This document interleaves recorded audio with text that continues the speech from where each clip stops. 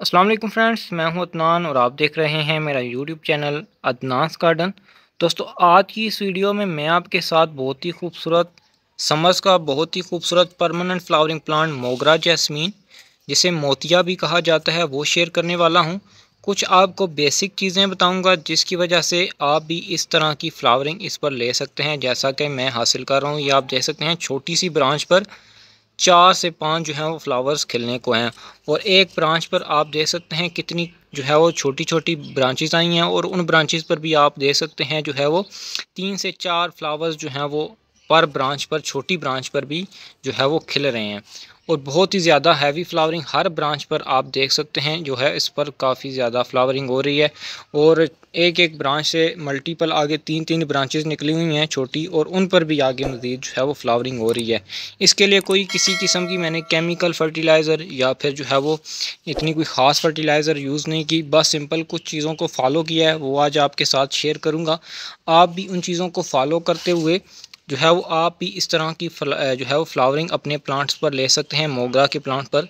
मोगरा का प्लांट जो, जिसकी ख़ास बात यह है कि ये बहुत ही खूबसूरत फ्लावर्स प्रोड्यूस करता है वाइट कलर के छोटे छोटे और साथ ही साथ ये एक बहुत ही तेज़ खुशबू अपने फूलों के अंदर रखता है।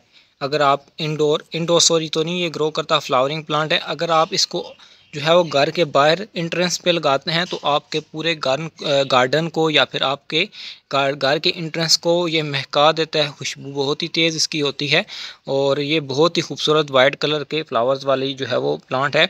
इसमें बहुत सारी वैरायटीज़ आ जाती हैं। एक जो है वो ए, बेल वाली वैरायटी होती है जो क्लाइम करती है और एक ये प्लांट की वैरायटी होती है। ये आपको नर्सी से आसानी से जो है वो छोटे प्लांट्स तकरीबन सौ डेढ़ सौ की रेंज में आसानी से नर्सी से मिल जाएँगे। इसको आप मोगरा या फिर मोतिया भी कहकर आप इसको परचेज़ कर सकते हैं।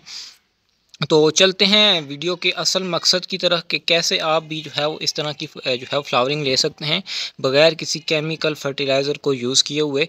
तो मैं जो चीज़ें फॉलो करता हूँ वो सबसे पहले ये है कि जो जो फूल स्पेंट होते जाते हैं, मुरझाते जाते हैं, ख़त्म होते जाते हैं तो उनको मैं पोट के अंदर ही इकट्ठे करता रहता हूँ और इनको जो है वो जब ज़्यादा इकट्ठे हो जाते हैं तो इसी के पोट के अंदर एक गड़ा खून के जो है वो इसमें दबा देता हूँ।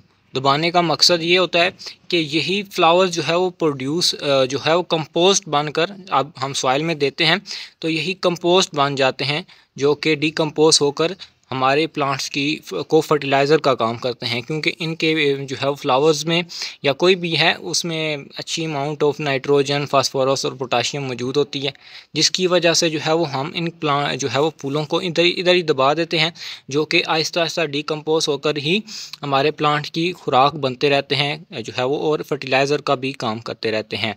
दूसरी जो चीज़ इसमें मैं यूज़ करता हूँ एग शेल एगशेल अंडों के छिलके जो हैं, वो जो भी हमारे किचन से निकलते हैं, उनको जो है वो मैं ड्राई करके जो है वो इसी तरह थोड़े थोड़े छोटे करके इसकी सॉइल में डाल देता हूँ। ये भी काफ़ी इम्पोर्टेंट रोल अदा करते हैं प्लांट की ग्रोथ में, क्योंकि इसमें भी जो है वो फर्टिलाइज़र रहती है।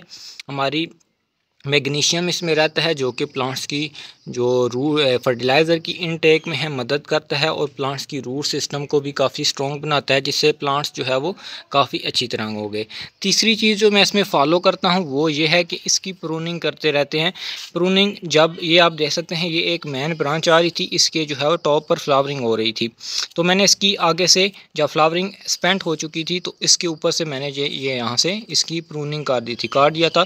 तो इससे ये होगा कि इसकी साइडों से जो है वो दो मल्टीपल ब्रांचेस निकल रही हैं जैसा कि आप देख सकते हैं, इसके जो है वो कलियाँ बन रही हैं और मज़ीद नीचे से भी। इसका आपको प्रैक्टिकल मैं सबूत ये दिखा देता हूँ कि ये वाली एक मेन ब्रांच थी, इसके ऊपर यहाँ पर फ्लावरिंग एंड हो गई थी तो यहाँ से मैंने इसको प्रून कर दिया था। तो आप देख सकते हैं प्रून करने की वजह से जो है वो तीन न्यू ब्रांचेज निकली हैं और तीनों पर जो है वो फ्लावरिंग हो रही है। तो इस मेथड को आपने अप्लाई करना है, इसी तरह ये भी आप देख सकते हैं। कि मैंने इसकी आगे से प्रूनिंग कर दी थी। प्रूनिंग से ये होता है कि प्लांट्स जो ब्रांच होती है मज़ीद ग्रोथ करने के बजाय साइडों से नई मल्टीपल ब्रांचेस निकालती है और आपका प्लांट बुशी होता है और उस पर ज़्यादा से ज़्यादा फ्लावरिंग होती है। और इसमें आपने जो है वो मॉइस्चर को काफ़ी अच्छी तरह होल्ड रखना है। जैसे कि अभी आप देख सकते हैं, मेरी सॉइल जो है वो आपको मॉइस्ट नज़र आ रही होगी।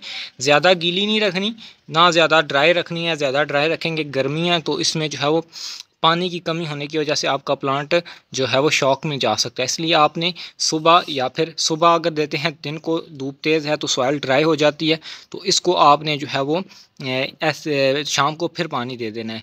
और इसको सख्त गर्मी में आपने तेज़ धूप से बचाना है, दिन की जो धूप होती है। वैसे ये आउटडोर का पौधा है, लेकिन इस टाइम अगर जून, जुलाई में आप मई, जून की जो तेज़ धूप होती है, उसमें रखेंगे तो इसकी जो सॉइल है, जल्दी ड्राई होने की वजह से जो है, वो इसमें मॉइस्चर की कमी हो जाएगी।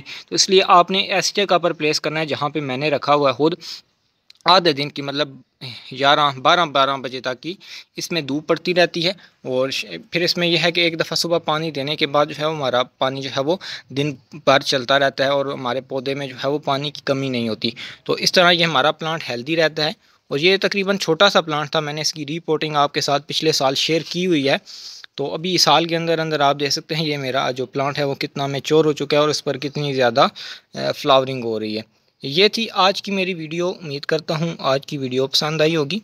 फ़िलहाल के लिए इतना ही। चलते हैं। अल्लाह हाफिज़।